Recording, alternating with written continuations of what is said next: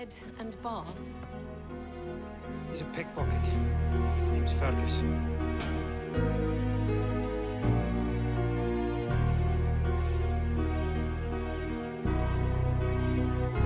Actually, it's Claudel, but we agreed that was not very manly. So you invited him into our house? I hired him.